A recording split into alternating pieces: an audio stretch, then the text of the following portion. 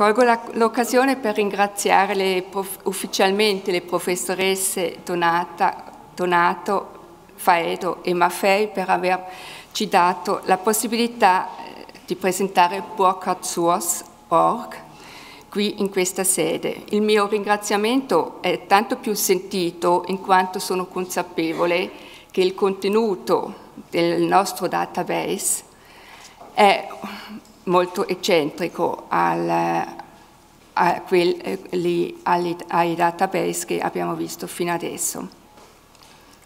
Rappresento un gruppo, so, molto eterogeneo, no, scusate, molto eterogeneo, non so se si vede, di, eh, di persone eh, che hanno tutte una formazione diversa.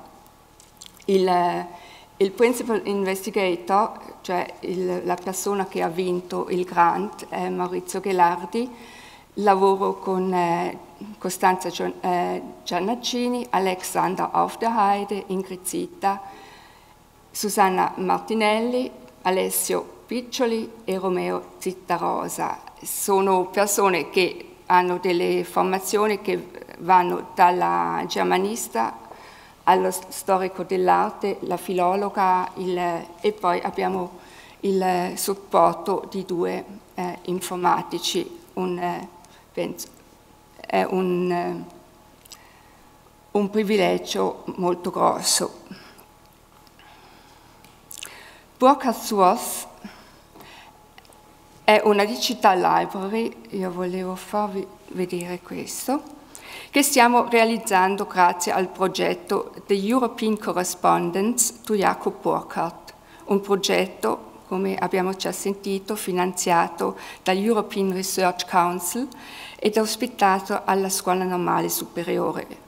Il progetto è finalizzato a stabilire un'edizione critica delle lettere a Jacob Burkhardt come dice il nome stesso del database, si tratta di un portale open access che si basa su un sistema di linked data. L'edizione ideata come una digital library completa con le lettere A Jacob Burkhardt il carteggio dello studioso svizzero, perché eh, forse saprete che eh, le lettere di Jacob Burckhardt sono state pubblicate in dieci volumi a stampa. In tal modo pensiamo che si ricostruisca una delle più importanti corrispondenze europee del XIX secolo, che prende gli anni che vanno dal 1842 fino al 1896.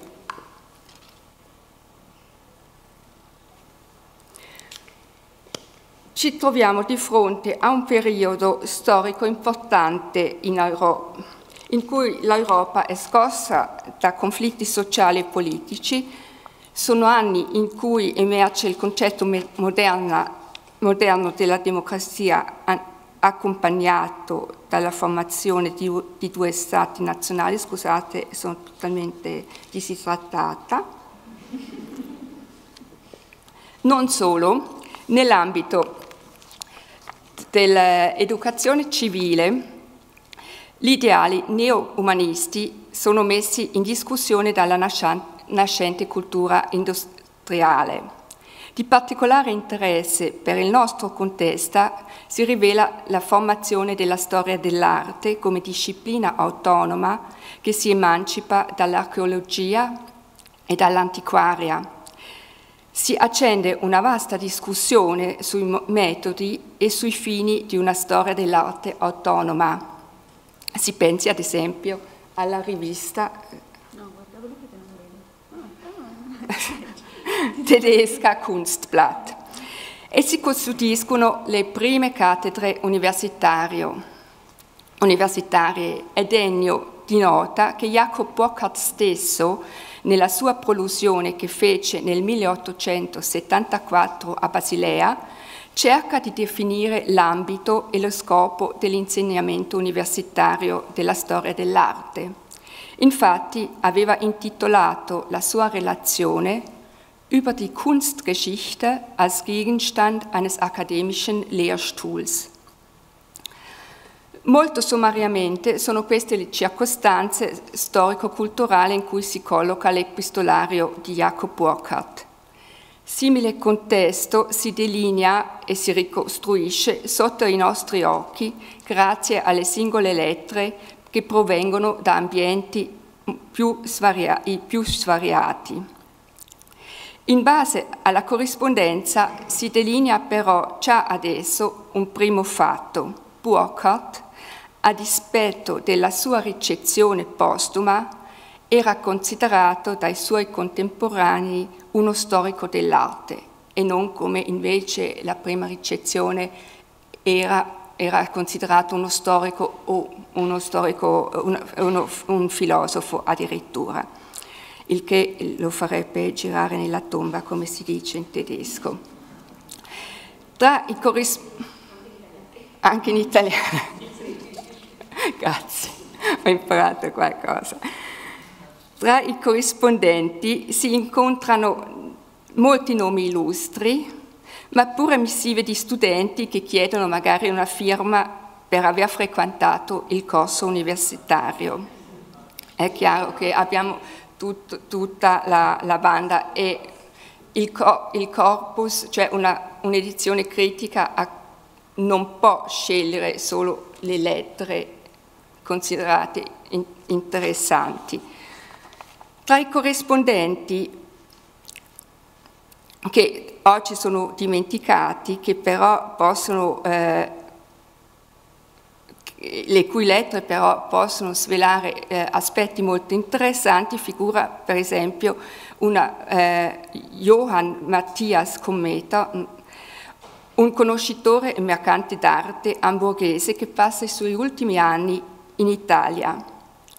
Scrivendo a Burkhardt, egli fornisce nella seconda metà degli anni 50 dei rendiconti dei suoi viaggi alla scoperta di opere d'arte, con l'intento di correggere e di ampliare la recente pubblicazione dello studioso basilese Cicerone, Cometa li invia delle lunghe liste di opere d'arte che egli ha censito, diciamo così, in chiese, monasteri, collezioni private e che oggi, nei migliori casi, hanno un'ubicazione diversa, nei casi peggiori non sono più rintracciabili. Illustro brevemente la piattaforma.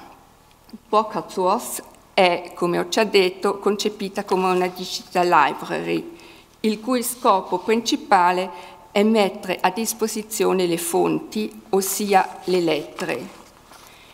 Il corpus del portale sarà, utilizzo il futuro perché è un work in progress e siamo in questo momento più o meno a metà eh, a, con la l'acquisizione delle lettere, con il commento siamo ancora all'inizio, cioè dicevo che il portale eh, una volta finito eh, continuerà, conterrà più o meno eh, lettere di 400 eh, mittenti. E si, si, contiamo che siano più o meno mille lettere. Le loro missive, le missive di questi mittenti sono state individuate nelle biblioteche e negli archivi europei, nonché in archivi privati, perché una parte si trova a Basilea, ma una parte è dispersa perché nell'Ottocento era l'uso di dare indietro le lettere o di solito era la famiglia che richiedeva indietro le lettere dopo la scomparsa di un caro. Il eh, progetto va oltre il, il mero accumulo e la semplice classificazione e gestione dei dati, cioè non è un sito autoreferenziale e chiuso. Esso si basa invece su tre principi che nel loro complesso sono assai innovativi. La piattaforma Broadcast propone testi filologicamente attendibili, per un'informazione orientativa, ogni lettera è accompagnata da un abstract. Uno strumento molto utile consiste nel corredo fotografico, forse vi faccio vedere eh, come si, si, vedono molto bene, cioè la scansione è molto precisa, è molto chiara e si, eh, si, possano, si può eh, ingrandire a volontà. Il testimone, il manoscritto, è descritto secondo un sistema stabilito in base a degli standard filologici su, sui quali mi soffermerà tra poco. Tutti i metadati si, sono interrelati all'interno della biblioteca stessa e dialogano con altri.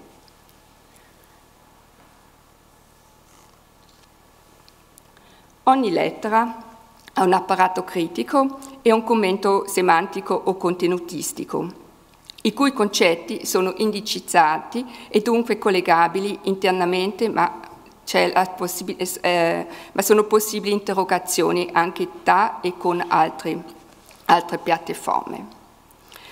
Mi soffermo brevemente su queste tre caratteristiche che, di Burkhard Source. Che cosa intendiamo con un testo filologicamente attendibile? Adottiamo qui eh, i criteri della filologia tradizionale, il cui obiettivo principale è l'edizione critica di un manoscritto, rendendolo disponibile per ulteriori approfondimenti, siano essi letterari, linguistici, storici o di storia dell'arte.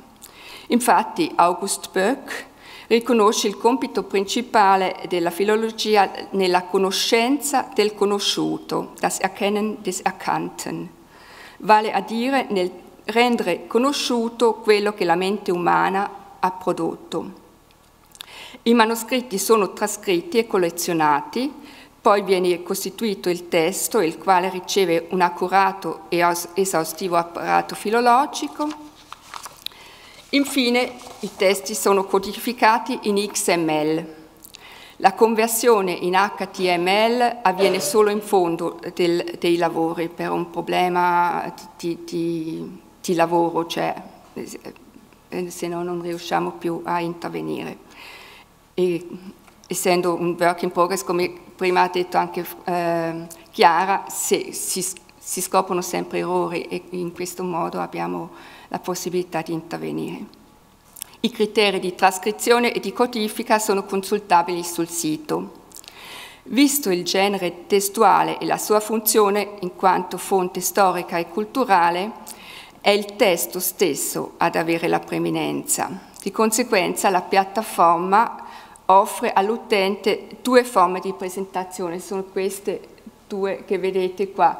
Sulla sinistra c'è un testo puro, corretto e continuato, senza annotazioni filologici, un testo che rispecchia, diciamo, l'ultima mano del mittente. Mentre a destra avete l'alternativa che consiste, e qui mi scuso perché appunto essendo l'XML eh, le correzioni eh, che noi abbiamo apportato in base al manoscritto si trovano ancora così nel testo nella eh, versione eh, definitiva. Ci saranno poi asterischi o, o, un altro segno su cui si clicca e uno volendo eh, vede le varianti o le correzioni dell'autore. Va comunque sottolineato che nemmeno questa versione illustra la mera fotografia del manoscritto, ma il risultato di un lavoro ectotico ben preciso. La scansione dei manoscritti rende trasparente e intelligibile sia la stesura della lettera, la genesi del testo, sia gli interventi del, degli editori. Qui in questo brano non abbiamo eh, Bode, di solito eh, scriveva senza intervenire troppo, cioè non si autocorreggeva. L'ottima risoluzione, il fatto che si possano ingrandire, come ho già detto, facilita chiaramente la, la letteratura del testo, anzi la lettera, eh, del, eh, la scansione spesso al, più risulta più facilmente leggibile rispetto all'originale. È superfluo accennare qui a un altro aspetto che ai presenti non sarà certo sfuggito. Grazie alle scansioni, Puokatsuos svolge anche un'azione, eh, un'azione di conservazione e tutela nei confronti dei documenti, perché l'idea è questa che uno può anche lavorare eh, sul, sulla piattaforma senza rendersi a Basilea o a Berlino o Monaco o dove siano le lettere. In che cosa consistono i metadati? Innanzitutto sono descritti tutti gli aspetti fisici della lettera, la carta, le sue misure, lo strumento di scrittura, ma si trovano anche i luoghi di stesura, eh, i luoghi di, della partenza e di arrivo. Alle città di partenza e di arrivo è assegnata la georeferenziazione affinché esse possano essere individuate sulla mappa. Le città che hanno cambiato nome e stato in seguito ad avvenimenti geopolitici, visto che abbiamo tanti, tantissimi autori tedeschi, questo eh, fatto avviene abbastanza spesso, queste città sono collegate a un sito esterno che documenta le, eh, i, i diversi cambiamenti. I metadati indicano inoltre il luogo di conservazione dei manoscritti e il suo URL e forniscono i riferimenti bibliografici di eventuali pubblicazioni precedenti. Alcune lettere sono state pubblicate in altri luoghi.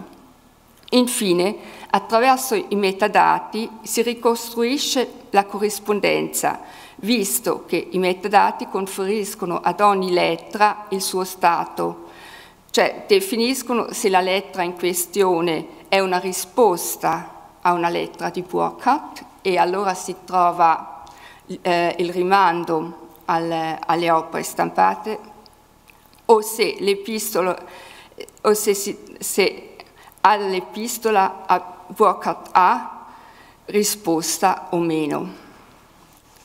Per illustrare la corrispondenza, qui abbiamo eh, un, una, una, parte del timeline, perché eh, il sito dispone anche di una, eh, una timeline che permette di eh, vedere gli apici temporali. Inoltre abbiamo eh, una mappa dove eh, qui abbiamo fatto solo un piccolo estratto dove si vedono le città e i mittenti e questo poi appunto si, si visualizza anche graficamente. Incrociando poi le date con i concetti delle annotazioni si manifestano chiaramente ulteriori intrecci e passaggi. Qui vorrei eh, accennare velocemente alle funzioni di ricerca. Fino adesso abbiamo, eh, si può navigare per anno, in questo senso intendiamo per anno di... Eh, della spedizione della lettera, per sender, per place, per, place, eh, per, per luogo, scusate, intendiamo il luogo di stesura, eh, questo è il luogo di riferimento.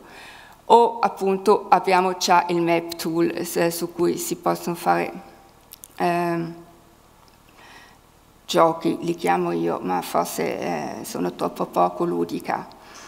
Um, Qui abbiamo fatto un, una piccola ricerca inserendo nel, nello spazio vuoto dove si, appunto si possono mettere keywords, abbiamo messo Leonardo e come si vede solo adesso da questi 400 lettere e senza contare che, le, che non abbiamo ancora le annotazioni, cioè per cui abbiamo solo i...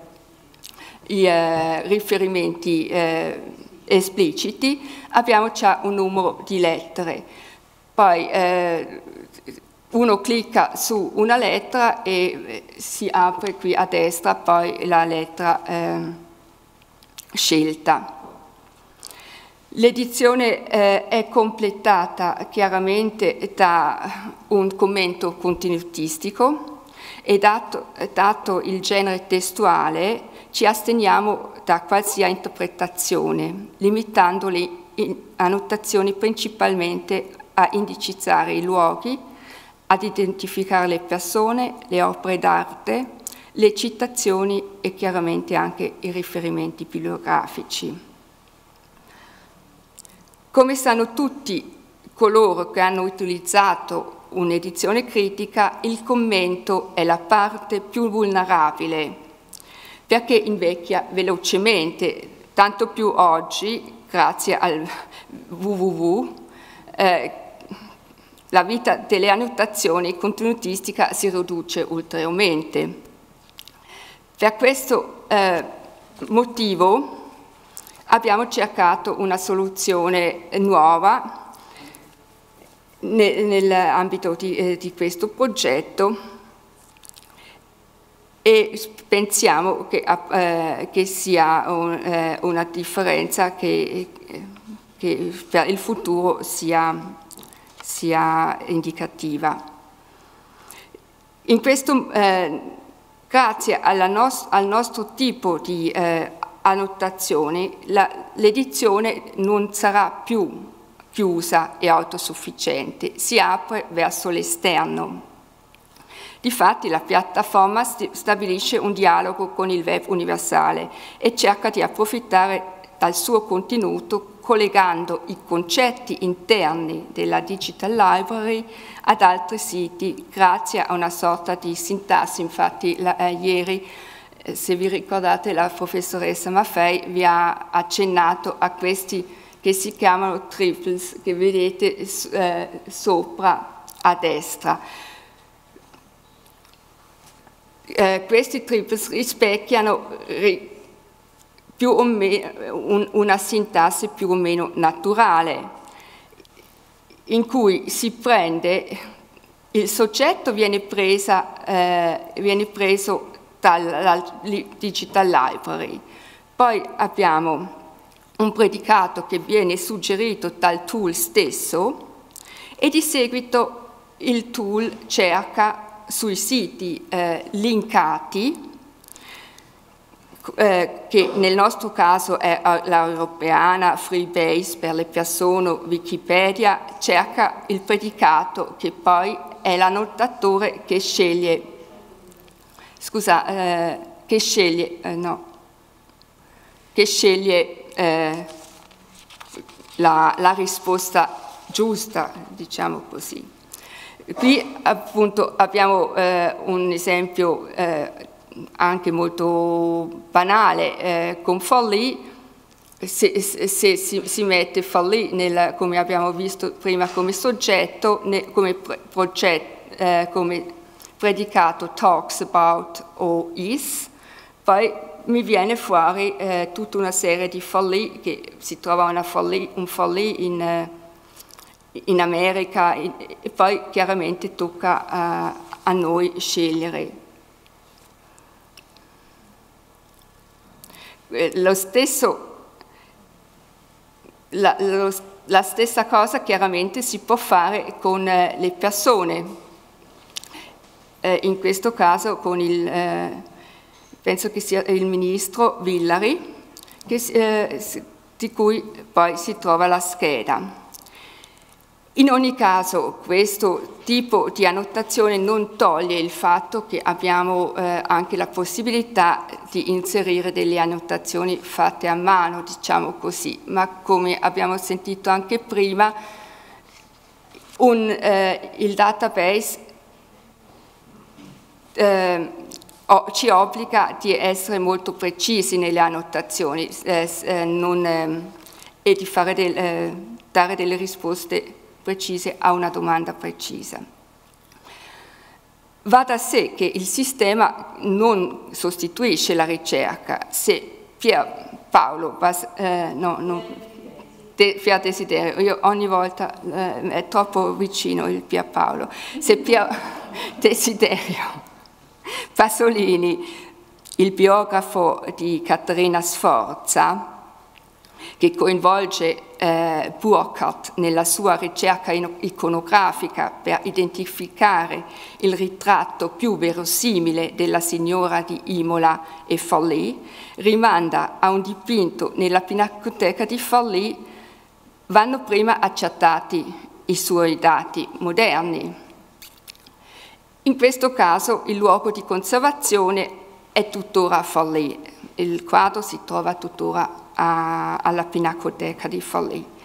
Mentre eh, al tempo di Pasolini eh, l'autore era sconosciuto, oggi eh, il, il, dipinto è attribuito a Lorenzo di Credi e la signora rappresentata non viene più individuata come Caterina Sforza. Mostro un altro esempio per eh, illustrare il vantaggio di una notazione semantica rispetto a una semplice indicizzazione. Sempre Pasolini, a proposito delle raffigurazioni di Caterina Sforza, scrive il costume qui, si riferisce a un dipinto preciso, il costume qui rappresentato può essere quello di una donna vissuta tra il 1463 e il 1509, tra la Lombardia, Roma, Romagna e Firenze. A me questo costume sembra posteriore dal 1550 in su. Ho consultato il Cesare Vecellio, il Bonar e sono rimasto più dubbioso di prima. Chiaramente eh, qui non si tratta, cioè sì, abbiamo a che fare con due persone, ma quello che, sì, che a, a, Pasolini interessa è, è, sono le opere e, e in questioni. In, eh, e per il Cesare Vecellio sì, un, io non so se l'avete mai visto, è un'opera bellissima, è un'opera di, di, cui abbiamo, abbiamo, dato con la scheda LUOL, se avete visto, alla biblioteca. Per cui si, si, si, eh, cliccando lì sul, sul sito nostro andiamo subito sulla scheda e appunto è quest'opera che eh, Pasolini intende, abiti antichi e moderni in tutto il mondo. E per l'occhio ci voleva qualcosa, per cui ho, fatto, eh, ho preso due, cioè il frontespizio e una donna ornata. Non so, la, la ricerca non l'abbiamo fatta ancora fino a questo punto, non so se poteva essere questa la signora che lui eh, intendeva. E per Camille eh, Bonnard chiaramente la, la stessa questione, eh, rimanda a costume du XVIIIe et, no, du, du XIIIe et XIVe et XVe siècle, extrait des monuments les plus authentiques de peinture et de sculpture, avec un texte descriptif et historique.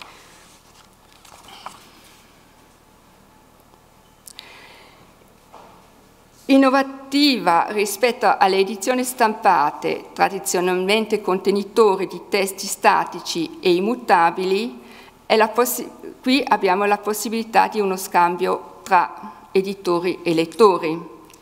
È previsto che gli utenti possano segnalare dubbi e perplessità o apportare correzioni al commento, anche se siamo ben consapevoli di possibili incidenti come quelli elencati ieri dal professor Ampolo.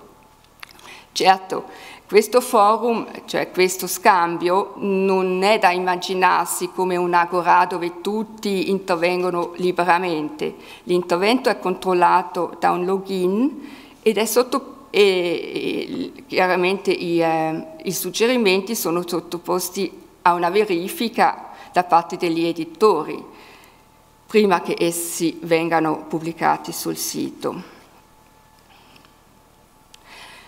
Questo, questa cornice che eh, abbiamo qui, eh, che è stata ideata e stiamo eh, ancora aggiornando strada facendo e che è stata fatta per le lettere a Jacob Burkhardt, ha, nella, eh, rappresenta nella nostra concezione solo un mattone, io ho qui preso per, eh, per eh, eh, problemi di comodità un, i, fil i, filosofi, ma rappresenta un mattone per costruire una re République des Lettres tra il 7 e 800. Tenendo fermo i criteri filologici, cerchiamo una discussione aperta con progetti simili per creare una rete europea, perché il progetto si intende come la, appunto come la maglia di una rete molto più vasta di epistolari di contemporanei. contemporanei. Chiudo citando Burkhardt, il quale attribuisce a un libro il merito di aver preservato molte opere d'arte dalla distruzione. Mi piacerebbe pensare che una simile funzione nell'ambito del patrimonio culturale possano assumere anche le nostre dat banche date di cui abbiamo sentito in questi due giorni. Lui scrive, lo leggo in, in, Italia, eh, in tedesco, se mai se c'è bisogno lo traduco. In Italien ist auch vieles Herrliche seit dem 13. Jahrhundert über die Zeiten des Manierismus und des Barocco hinaus gewiss nur deshalb erhalten geblieben, weil durch einen enormen Glücksfall, der auch hätte ausbleiben können, durch das Dasein und die weite Verbreitung des Vasari jenen Werken wenigstens diejenige Beachtung gesichert hat, welche das ganz leichtfertige und hochmütige Wegschaffen und Zerstören hinderte. Cioè, faccio un riassunto brevissimo. Cioè, Burkhardt attribuisce al fatto che il Vasari, che era molto diffuso, e, e il Vasari che cita tutte le, le opere d'arte, grazie al fatto che un'opera d'arte compariva, era presente, nominata nel Vasari, questo fatto impediva o era almeno una barriera per, eh, per una eh, possibile distruzione. Vi ringrazio della vostra pazienza e sono aperta per domande.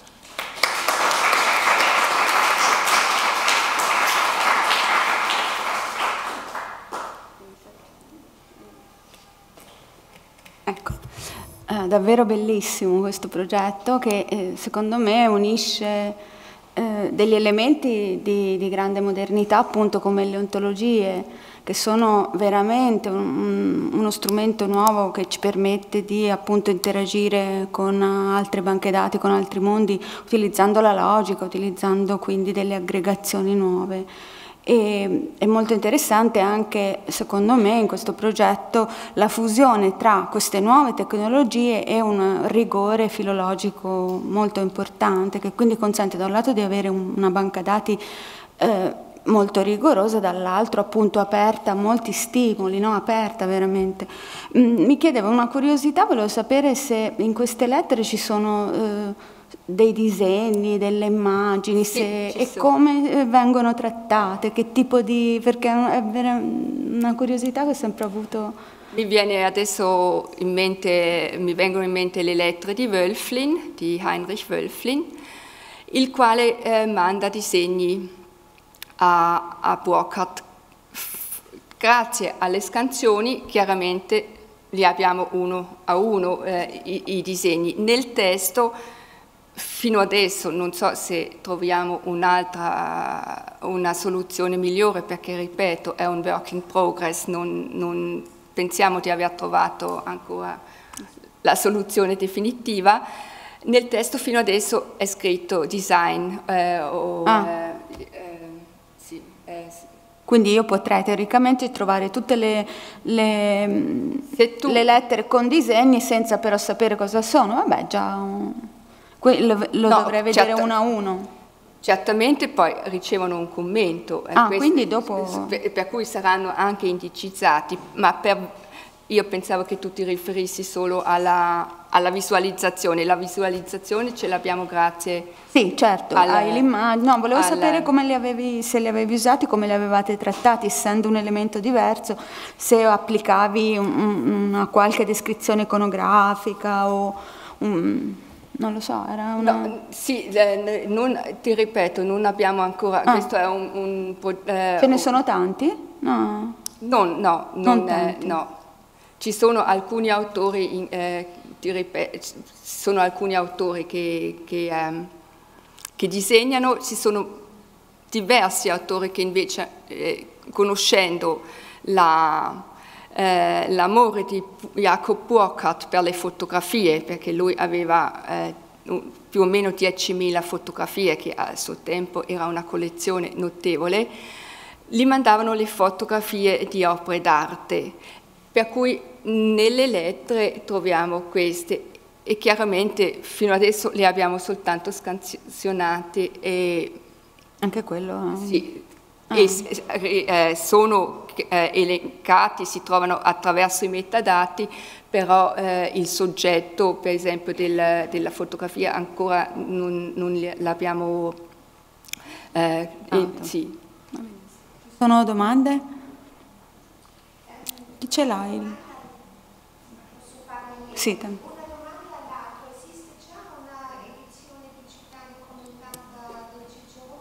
No, no. eh, dunque, eh, non so se è a conoscenza che eh, stiamo, cioè faccio parte anche dell'edizione critica delle opere di Jacob Burckhardt, si sta facendo un'edizione critica delle opere di Jacob Burckhardt, ma è cartacea. Eh, sia- sono progettate 26 volumi, il Ciccione eh, è uscito come primi, delle prime opere, opere, chiaramente con un, con un apparato molto utile, nel senso tutte le opere d'arte, questo è uno dei criteri eh, dell'edizione critica, sono state aggiornate, cioè l'ubicazione, l'attribuzione, tutto quanto però è cartaceo fino, fino adesso, e perché le case editrici a suo tempo non, non volevano nemmeno fare una, perché a suo tempo si, si parla degli anni, fine anni 80, quando è partito il progetto, non erano nemmeno disposti a fare delle, delle CD. E niente. Però mi sembra, eh, se lei naviga, il Cicerone si, si trova eh, online, perché un- un- una parte delle- dell'edizione critica adesso si trova anche online. Altre domande?